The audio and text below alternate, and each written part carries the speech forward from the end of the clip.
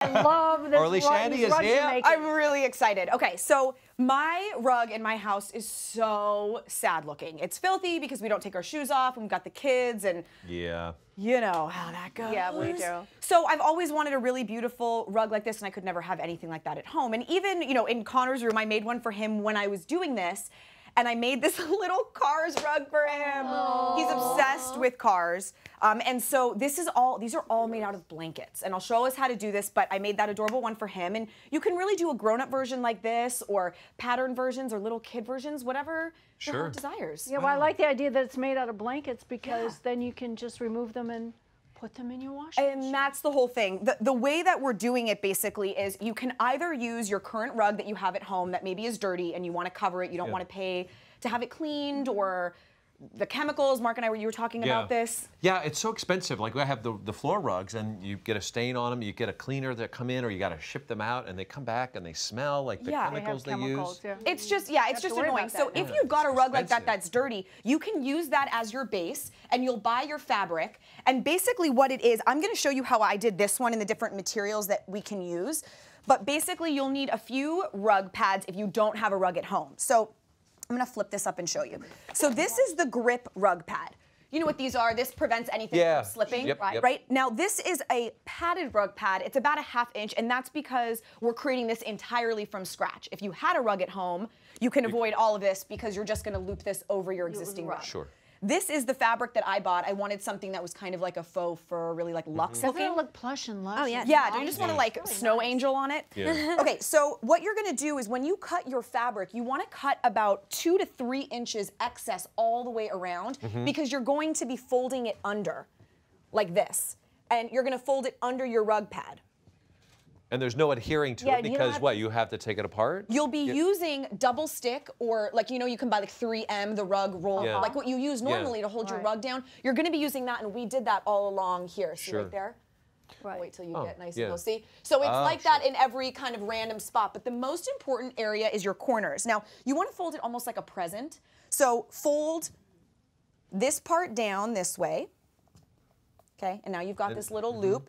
And now like this, so you have a nice crisp corner. There's Make no sure, cutting, right? No cutting. No cutting. Okay. Make sure that it's nice and even. And then you can get these. What is that? These are never curl. They are used at the edge of rugs if you have one of those pesky corners that always curls up. Right. And it has an adhesive side and then it weighs down. So basically, once you've created your your um, proper corner here that you like, then peel off the backing and this will be really sticky. Where do you find something like that, Orly? I got it on Amazon, but they have it like anywhere. Like And what's Yeah. called? Target. It's called what? Never curl. Never curl. Yeah. Okay, I curl. love Never that. curl hmm. keeps rug corners flat. Never trip, they should You could call use it. that on your hair too if you got curly hair. And now you just put it right here don't in the corner, Never curl. and now just push down.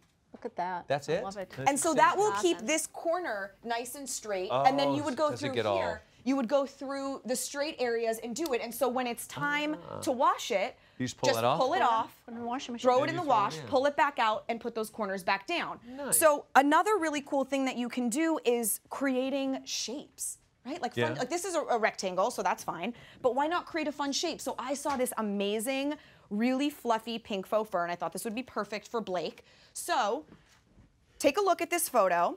I laid it in half and I took spoons because how do you ever have like a giant cardboard to make a stencil? So I just took random, I mean knives, butter knives, and I made my shape of a half heart and then I cut it, I mean I put chalk so that I could see the stencil and I um I just chalked it out and then I cut it out.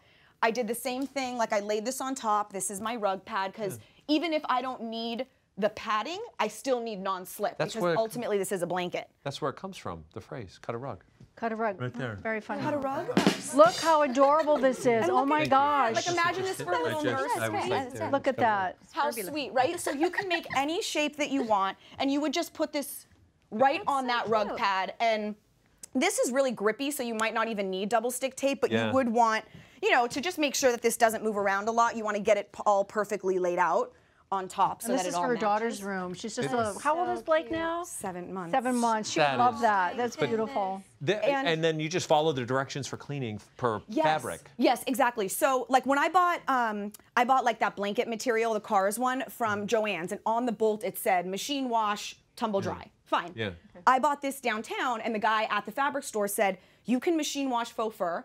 Put it in the machine at like on cold. Make sure you Yeah. put it on cold. Don't dry it in the in the dryer. Just let it air dry, and then go in with a brush and kind of fluff it, refluff it when it's dried. Oh. How much did that cost you? This was like 20 bucks. Oh, No, no, gosh. that would be a lot more in a oh, store. Oh, much That would be more. redundant. And I just want to say yeah. real quick, we made a small one because this was the space. Yeah. But just to keep in mind, like this is that fabric. We could have done sewn the two sides together and made a huge one for like a great Yeah. room. Yeah. You know, so that it was this and then this one would be all the way out. So just remember that this is a really great solution for like a major room and a really I big beautiful rug love if you're redecorating and you don't have a budget for a rug. the kids Well, roll around. you can do that. this. great. Yeah.